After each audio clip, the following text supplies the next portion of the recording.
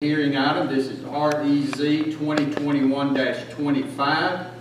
This is the Ethridge case. It is located on Parker Road.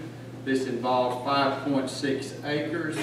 It is currently mixed zoning with EA, R1, and conservation, uh, and the request is for RA as well as septic. Mr. Dillard. Thank you, Mr. Chairman, and good evening, Commissioners. Again, the request is a 5.6 acre change on the western side of Parker Road from its EA R1 and conservation to RA residential agricultural zoning. The motivation is to subdivide and create a ULDC conforming parcel if the approval is granted. Um, This is an agricultural forestry character area and then the urban service area. And during plat review process, staff will address any wetlands or requirements that are needed to protect any such areas that may exist. You'll notice here on the future land development map, the rural area character and agricultural surrounding this area. Do note the wetlands and the former flood hazard zones. Out of an abundance of caution, staff recommends any house siting be mindful of these zoning, um, flood zone boundaries and conservation zoning and setbacks.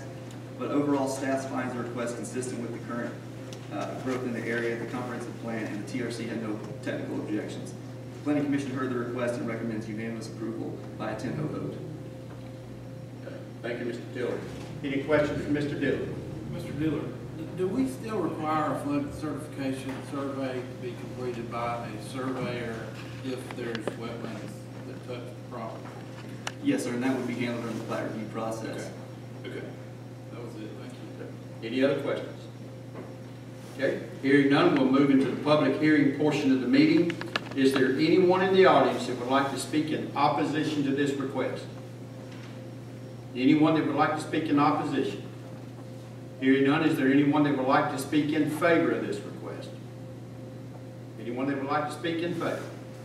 Hearing none, I'll close the public portion of the meeting. Commissioners, I'll turn it back over to you for your consideration. Mr. Chairman, I move we approve the rezoning request. Okay, we have a motion to approve the rezoning request. Do I have a second? Second. We have a second. Any discussion on the motion? Hearing none, I'll call the vote. All in favor, please raise your right hand. Any opposed, like sign? Motion carries.